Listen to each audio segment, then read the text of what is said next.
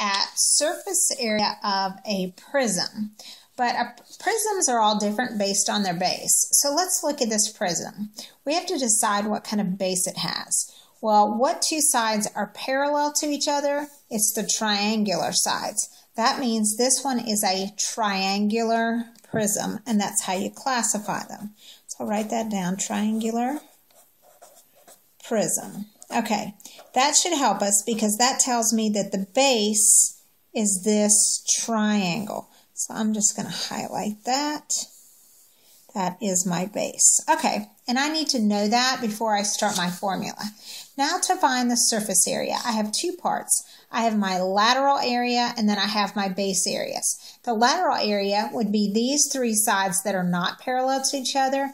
It's the, it's the part of the um, prism. If I stood it up on its side, that would be the height. So you got to kind of think about flipping this prism around. Okay, so my lateral area are these three sides, which are all rectangles. And then my base areas are these two triangles, because remember the bases are the parallel sides. So I've got to take this lateral area and I'm going to add a top base and a bottom base to get the whole surface area. So let's start cranking it out here. Okay, to find the lateral area, I need P, is P times H, and P in this case is the perimeter of the base. So let's go to the base and look at the perimeter. Well, the perimeter, I'm going to take 16 plus 12 plus this side is 20, so this side must be 20. So that means I'm going to add those three sides for the perimeter. So 16, whoops, let's clear that. 16 plus 12 plus 20 that's going to give me 48. So my perimeter is 48. Now, what is the height? The height we're talking about is the height of the uh, prism. So this is the height of the prism. If I flipped it up, it would be 10 tall. Okay, so that's 10. So that's 480 centimeters squared for my lateral area. Now we need to go and find our base areas. Okay, in this case, our bases are triangles. So you've just got to think of this not as part of the prism. Let's go over here and just draw the triangle for a moment. We're just looking at an isolated triangle that is 16 tall and 12 wide. And we're not going to use the hypotenuse for the area formula. We're just going to do 1 half base times height.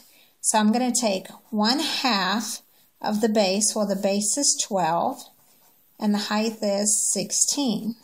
So half of 12 is 6, and 6 times 16, let's grab a calculator, 6 times 16, that's going to give me 96. So one base area is 96. That accounts for one of these. But I remember I have two of these, so I'm going to have to take that 96 and I'm going to have to double it. So let's multiply that 96 times 2 and that gives me 192.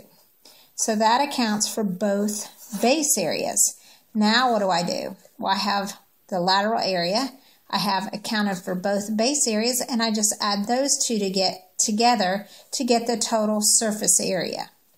So I'll take 480 plus 192 and that's going to give me what? 2 17, carry the 1, 6, 72 square centimeters. And remember, area is always units squared. Hope this video was helpful, and I hope this formula, if you can use it, and substitute in what your different bases are here, and then just double those to find the surface area.